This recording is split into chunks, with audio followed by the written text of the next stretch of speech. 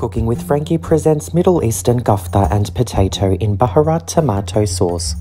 Combine all the following ingredients to form approximately 14 evenly sized koftas.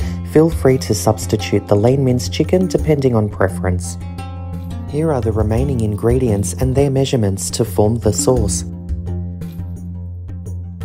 Bake the koftas in a preheated oven at 180 degrees Celsius for approximately 30 minutes.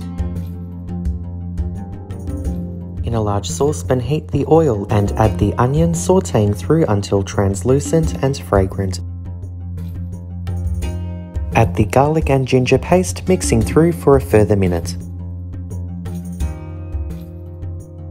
Combine the baharat powder as well as the baby potatoes cut into quarters and mix through until coated in the onion mix.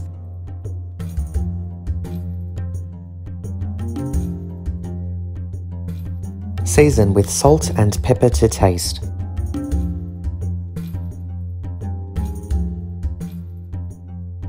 Combine the diced tomatoes and vegetable stock. Place a tight fitting lid over the top and bring to boil.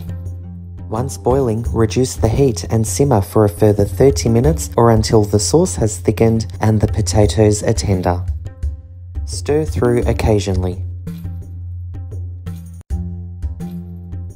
As the sauce continues to simmer on a low heat, remove the koftas from the oven. They should be lightly browned.